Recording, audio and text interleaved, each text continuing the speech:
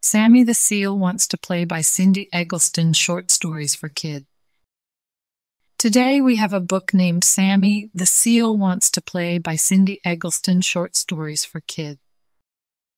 I think they're so pretty. I hope you guys really enjoy it. I love it.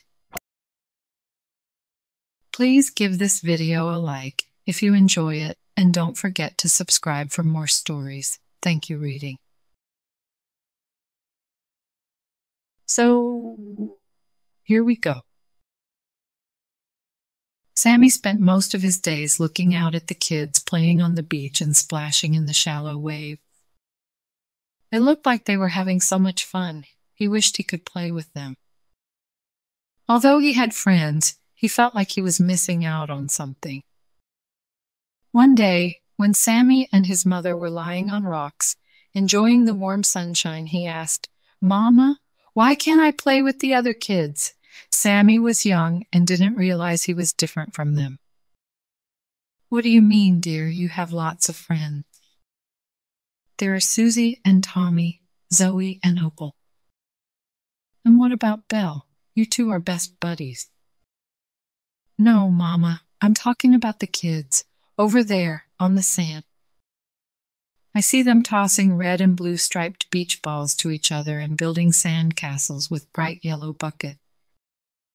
They even get to have picnics under big rainbow colored umbrellas. Oh, Mama, they look like they're having so much fun. Sammy's mother wasn't sure how to answer. She'd often seen him gazing out onto the land, a wistful look on his face. Well, dear, our species live in the water and people live on the land. But why, Mama? They can do both. Play on the sand and swim in the ocean.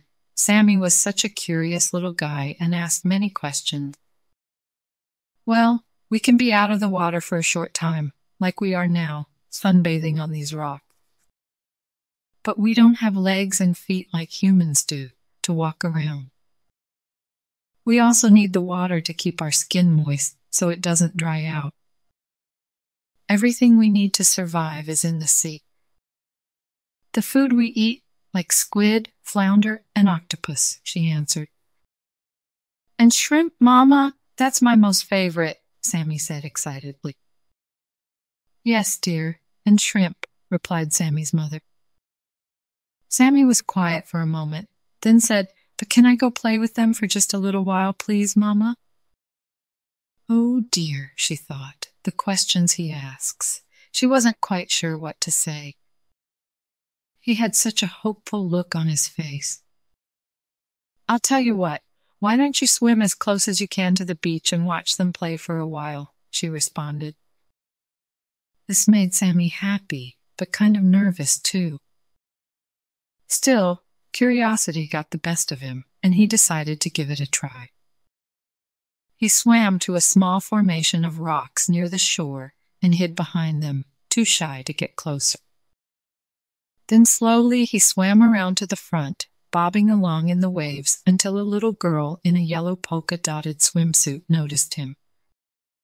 He knew her name was Sandy. He'd heard her mother call out to her before, Hey, yuck!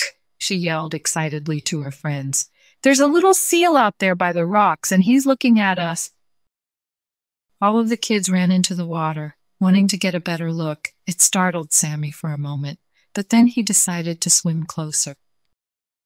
Sandy yelled, Oh, little seal, do you want to play with us? Sammy looked behind him, thinking, Is she talking to me? Suddenly, a big beach ball came sailing toward him. It bounced off his nose and went flying back to the kid.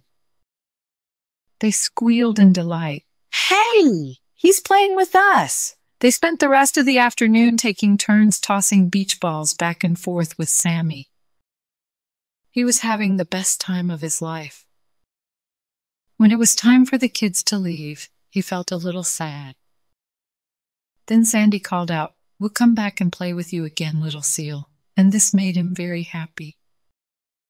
So for the rest of the summer, Sammy played with his new friends. He even brought along Susie and Tommy and Zoe and Opal. and of course, his best friend, Belle. The end. Good job, friends. Thank you so much for reading with me. Bye, I'll see you next time.